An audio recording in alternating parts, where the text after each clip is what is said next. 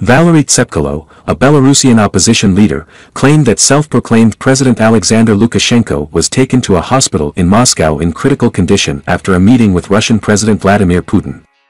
According to Tsepkalo, Lukashenko's condition was deemed critical by doctors, and he required urgent medical attention. The measures taken to save him were aimed at dispelling speculation of Kremlin involvement in his possible poisoning.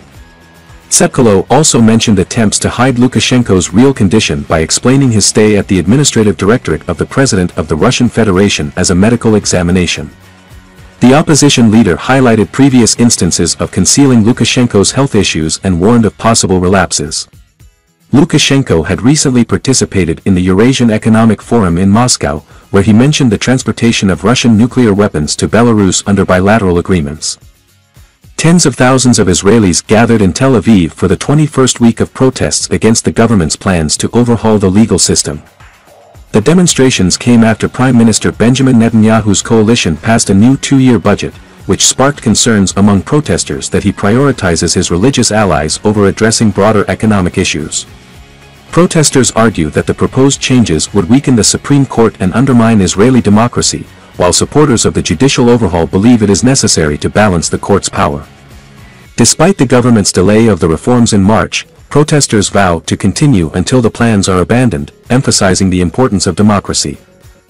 Kiev, the capital of Ukraine, experienced the largest drone attack since the start of Russia's war. The attack occurred on the eve of Kiev Day, the city's anniversary celebration. Russian-made Shahed drones were used in the attack, with over 40 drones shot down by air defense systems. Tragically, one person was killed, and a fire broke out in a building due to falling debris. Similar drone attacks were reported across Ukraine, with a record-breaking number of drones launched and mostly intercepted. The timing of the attacks was seen as intentional, and Ukrainian officials attribute them to Russia's insecurity and animosity towards Ukraine. In response, Ukrainian air defenses have been successful in countering Russian air attacks. The drone attacks highlight the ongoing conflict between the two countries, with both sides engaging in long-range shelling and missile attacks. The Russian ambassador to the UK warned of further escalation in Ukraine, emphasizing Russia's military capabilities. Additionally, the death toll from a recent missile attack in the city of Dnipro rose to four, with several people injured. The South Korean government has stated that it will not encourage its memory chip companies, such as Samsung Electronics and SK Hynix, to seize market share in China that has been lost by Micron technology due to Beijing's national security restrictions. South Korea is cautious about taking advantage of the Micron situation as it considers the United States a key long-term partner for its semiconductor industry. The U.S. has imposed export controls on chip-making equipment and knowledge, along with Japan and the Netherlands, as part of the ongoing trade and technology dispute with China.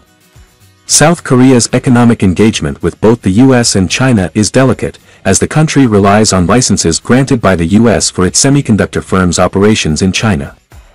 If South Korean companies fill the gap left by Micron, there is a risk of retaliation from China, similar to what happened when South Korea deployed a US anti-missile defense system. The situation remains uncertain, and it is unclear how China will further restrict U.S. chipmakers and how the U.S. will respond to China's ban on Micron. Both sides have recently sought to ease tensions and engage in high-level talks. Micron derives a significant portion of its revenue from China, and the impact of the ban is still being evaluated. The U.S. Commerce Secretary has condemned China's action as economic coercion, while the Chinese Commerce Ministry has stated that they will strengthen cooperation on semiconductor supply chains with South Korea. The challenge of reaching a U.S. debt limit deal is compounded by political divisions and procedural hurdles that must be overcome to pass the legislation before a June 5 deadline. The deal, reached by President Joe Biden and Speaker Kevin McCarthy, includes provisions disliked by both parties. The leaders must now convince enough members of their respective parties that the agreement is preferable to the global economic consequences of default. Time is limited, as revisions or a failure on the House floor could result in a market downturn. Republican and Democratic leaders need to manage their caucuses and mobilize support. However, not everyone will be happy with the agreement, as it falls short of spending cuts and raises concerns among progressives. House Freedom Caucus members and some Democrats have voiced opposition. The process is further complicated by former President Donald Trump's influence and the expanded work requirements for social programs. The timeline is tight, with the House expected to vote on Wednesday and potential delays in the Senate. The situation requires swift action to avoid a default. Italian Prime Minister Giorgia Meloni stated that good relations with China can be maintained even without participating in the Belt and Road Initiative, BRI. Italy is currently the only major Western country that has joined the BRI, a project aimed at connecting China with Asia, Europe, and other regions through infrastructure investments. However, Italy's government is considering leaving the project, which was criticized by Washington and Brussels. Meloni emphasized that Italy's decision is complex and involves various interests. The BRI agreement will expire in March 2024 but can be automatically renewed unless either side gives a three-month notice of withdrawal. Meloni previously expressed disapproval of the 2019 decision to join the BRI.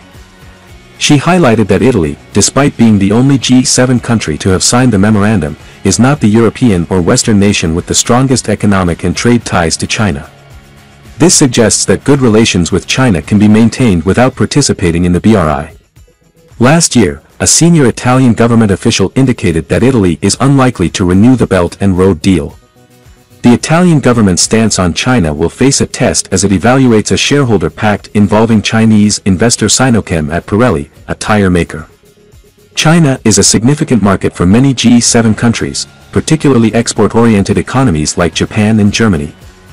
During a recent summit, G7 leaders pledged to de-risk without decoupling from China, indicating a cautious approach to handling relations with Beijing. India's major opposition parties boycotted the inauguration of a new parliament building by Prime Minister Narendra Modi, demonstrating rare unity against his Hindu nationalist ruling party.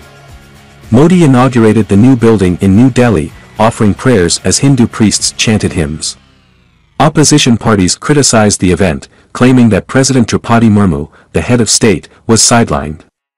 Despite the boycott, Modi entered parliament to applause from his party lawmakers and delivered a 40-minute speech highlighting India's parliamentary democracy and its departure from colonial rule. At least 19 opposition parties skipped the event, considering it an insult to India's democracy.